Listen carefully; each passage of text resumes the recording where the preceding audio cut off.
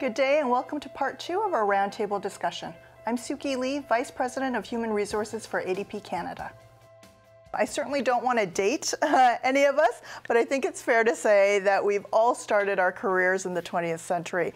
And I think we would all agree that it is a much different world now than it was when we started out. So I'm interested in what business leaders like all of you think is different about the 21st century workforce and what it is that we should be thinking about today that we haven't in the past. So maybe Nora, I know you've been um, doing a lot of research into multi-generational workforces, and certainly the shift from employer-employee more to organization and individual. So how does this impact how we view talent today? Well, I think the first thing to recognize is that talent is really, we're talking about people. We're talking about individuals. And we are talking about multi generational, multicultural workforces. We're also talking about workplaces that are significantly um, dynamic and agile, and the speed at which we're changing is extraordinary. And I think when we're looking at the employ, traditional employer employee relationship, the employer just had to provide employment, and that was fine. And now, as we've been talking about, it's more the responsibility of the organization to provide employability in the future. And when we think about that, then the relationship is shifting from an employer employee one to an organization individual one. And that individual has skills, talents, um, expertise, experiences, dreams, goals, and aspirations that they bring to the workplace. And I think when we look at the complexity of the workplace, the multi generational one, the multicultural one, the increasingly diverse one, then it, it means that the organizations that are going to be most successful are the ones that create that opportunity for customization, customization of everything from compensation packages, career paths, development tracks, and those are the ones that are going to be succeeding in the future. Okay. Mark, um, this summer you were blogging about the need for HR leaders uh, to lead the way in new forms of working uh, to help the business deliver on its strategies. So um, you, you speak about increasingly having virtual teams, contractors, freelancers uh, working together maybe on a project and then actually breaking apart and reforming in a different group to work on another project. So how is it um, that we should be managing talent in this kind of environment? I think it presents some real challenges for us. So I think, as, as you say in the summer, some of the blogs I've written, is really challenging the HR profession to, to step into that space and, and take a real leadership role in terms of how can we ensure that our organisations are really effective in uh, dealing with a diverse workforce, as, as, Nora outlines. And so I think there's a lot of opportunity that it provides for us to, to really think about all of the HR policies, all of the HR practices, and make sure that they are relevant to the organisation and relevant to, to what will be people coming from all sorts of different uh, perspectives and different backgrounds. So they could be contractors, they could be consultants. I remember reading another blog from somebody who talked about the employee experience being, being a beautiful employee experience, which you don't hear that word used very often, but for contractors and for employees. So a lot of it is quite philosophical in terms of what is your approach around how you're going to deal with people and ensuring that you're dealing with them in a very consistent way, but taking into account their own individual circumstances and, and dealing with that proactively, making sure you understand that and putting in place the right practices that are really going to ensure that those people regardless of, of the relationship you have with them, that they want to come back and do their best possible work with your organisation. Now, Les, um, I'm going to um, talk to you about a topic that has been garnering a lot of headlines recently. Um, you've worked in uh, many different industries where performance reviews and the annual performance feedback process um, has been a long-standing tool. Um, many companies today are eliminating that um, and focusing on continuous feedback instead. How does this impact how we um, should be measuring the workforce or how we can measure the workforce? There's no question that performance reviews have had a, a bad rap for a long time, both within HR because we, are the, the keepers of the system and it requires a lot of work uh, along with line managers who just hated doing this, either mid-year reviews and then the, then, uh, the final review at the end of the year. Um, so this continuous feedback concept is resonating maybe for the wrong reasons because it's an avoiding or it's getting rid of throwing out one system and coming in with something that's very unstructured requires a lot of skills on on behalf of the managers providing that feedback in fact i'd say uh, in many ways the manager almost has to be a behavioral science expert because how much how, how much feedback what's the per percentage of positive feedback versus constructive feedback um, so uh, you know the the concept has merit. It requires a lot of execution and training, and the reward system for managers to encourage them to continuously give feedback. But whatever the system is that we ultimately end up with, eh, there are three things that we need to, I think, that we have to measure talent on. One, that goals and objectives that we set for them, why are they there? You know, what pucks are they putting in the net? Two, if they're, they're in a leadership role, how effective are they in lead, leading people?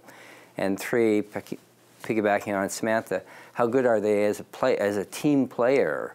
If they're and many organizations are, are, are multifunctional in nature and, uh, and therefore they have to operate as a team player. They're not all leaders. So whatever the system is, those three things have to be measured and um, and I, and I hope we'll, we'll get better at it um, but we shouldn't totally throw the baby out with the bathwater on this uh, performance review issue. Les, can I just ask you a question about that? Because it seems like one good transitional step is I've been at a number of companies and worked with a number of managers where, where they will say, if an employee gets a bad performance review and is surprised at the end of the year, you failed as a manager. So even if there's not an official structured system of constant communication, constant feedback. It feels like maybe baby steps for the organizations that are still retaining the annual performance review is you should not be delivering surprises. It's hard to conceive if if you've got a you know a, a leader of of uh, employees where performance is measured, et cetera. It's hard to conceive of with you know after a 12 month period that that the person would be surprised by their performance. Especially nowadays where we've got 360s in place, we've got self-evaluations. I actually, I think the self-evaluation was one of the better add-ons to the performance review process because it took away the surprise to the manager. Because, and, and, and it's not at the end of the year that you should be doing self-evaluations, it's more periodic. A lot of companies have mid-year reviews. At least that's six months into the process you're checking the scoreboard. But there shouldn't be lots of there shouldn't be surprises at the end of the of that, whatever the system is. But typically, those performance reviews measure achievements and accomplishments. Mm-hmm. When today's employee and the individuals are equally interested in understanding what contribution they're making which is above and beyond. It's the personality that they bring, it's the spirit that they bring, it's their the whole human being that they bring to the workplace. And traditional performance reviews or systems tend to ignore that side of the individual. And I think just focusing on achievements and accomplishments, we lose out on really helping people become the whole person that they want to become in the workplace. And it's where a lot of individuals make decisions about leaving or disengaging um, in the process. But I, I, think, though, that the more sophisticated performance review processes actually have a balance. They review what are, what's expected of, of that role or to function, and also how, how you operate it, which gets more into what Nora talks about in terms of how effective were you as a leader, how could you become better as a leader, how are you developing talent. So it's more holistic than just did you put the puck in the net or not. And we've had some success at that RSA, having that balance between the what and the, the how. But with your behavioural science um, point, Les, I agree with you. That's needed a lot of education and support. And, and, to be honest, I think we've still got some way to go to really ensure we are focusing on the how to the same, same extent as we are the what. But that certainly has to be the aspiration. I think the nugget for me is when uh, people often talk about eliminating performance reviews or the annual process, they focus on just the pieces of work that they're taking out. And ultimately, what I hear from all of you is it is just as much actually requiring a different kind of investment uh, in the organization. So it's not as simple as let me just eliminate one piece, but rather you're you're filling in other gaps that you might have organizationally in terms of managing talent and just doing it a different way. Um, Ken, let me come to you. So you've come from a financial background, and I know CFOs are pretty focused on getting to the uh, return on investment for talent. So if we eliminate things like performance ratings, how should we be measuring our workforce? Shoot, I was hoping you guys would tell me.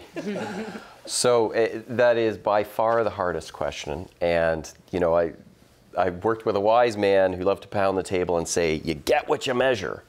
Um, and it's great to try and work to that dictum, but sometimes you have to admit you can't directly measure. So, what can you measure? Well, clearly you can measure outcomes and output. So, the what. Um, were objectives met? Were the deliverables delivered? How do we do on our sales, on our efficiency, on our coding development programs?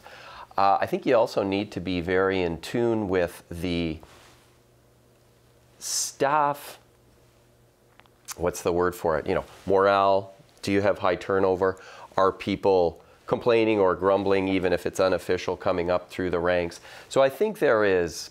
It's not going to be a nice, neat system that I can give a, a percentage ROI and put in the books. But there are certainly ways that you can measure are we doing what we set out to do and what we are paying these people to do? And do we feel like we're doing a decent job based on what we're seeing of promotions in house, of turnover, both good and bad, of morale. Is that working? Not going to come down to a nice, neat number in the books, though.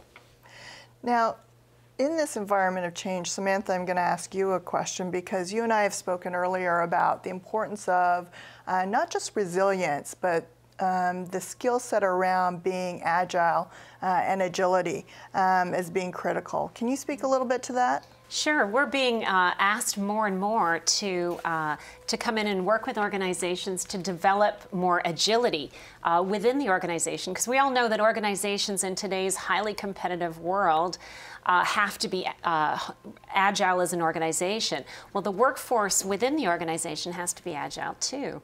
Uh, it used to be, um, if I think back to the 20th century, used to be that people largely did about the same thing, and then every once in a while they would have some change to, to deal with. And we looked at, at skills like resilience or adaptability as kind of the key skills at that time.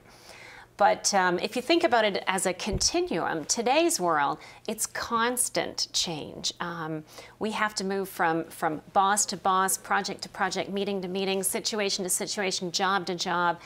And uh, we need a higher uh, level of skill to, to be able to do that, something that uh, is more akin to agility, where we can uh, swiftly and surely move from situation to situation. And, and we believe it is a, it is a skill. Uh, it is something that you can develop more of. Uh, and it's uh, some of the foundations of that skill would be things like uh, flexibility, open mind, um, uh, speed of learning, you know, a quick learner, resourcefulness, creativity, those types of things. Now, Nora, I know you've got some thoughts on this topic as well. Anything to add to that? I think what we need in order for organizations to be agile is individuals to be nimble. And in order for individuals to be nimble, we need to create a culture of customization. And if you think eliminating um, performance reviews makes managers antsy, talking about total customization of the employee experience um, makes them absolutely crazy. What we're seeing is organizations that create a culture of customization, recognizing the diversity, recognizing the individual interests, recognizing the whole human being, are the ones that are increasingly successful. And think about it almost like coffee. Um, human resource professionals and practitioners in the past could offer black coffee in a mug and everybody's needs were met and everybody was satisfied and everybody was happy. Then along comes the 80s and 90s, and we start getting more diversity in the workplaces, and HR started to go beyond uh, payroll and benefits and into much more holistic, and we had more choices and more alternatives. So it was more like having a coffee bar where you had regular decaf coffee with cream and milk or sugar and sweetener, and, and people had choices, but you still were limited. now we're creating workplaces that are more like the tall vanilla latte, double hot, double shot, no foam soy, and every cup is different.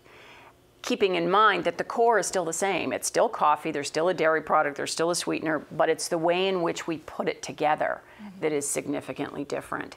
And I think in this day and age, the managers and the, the HR professionals and practitioners or owners, operators in small businesses that embrace this concept of customization are the ones that are going to be ultimately successful in the short and in particular the long term. What a terrific analogy. I just wish I'd invested in Starbucks a lot earlier. this is the end of our second chapter. Please be sure to watch the rest of this roundtable discussion.